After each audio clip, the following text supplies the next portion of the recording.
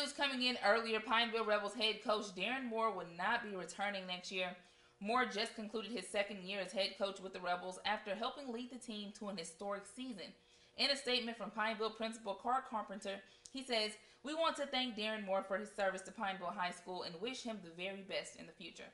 He goes on to say, Our attention now turns to finding the next head coach at Pineville High. We will cast a wide net to identify and recruit a coach who shares our vision, our values, and our passion for creating a winning program that our students and community deserve.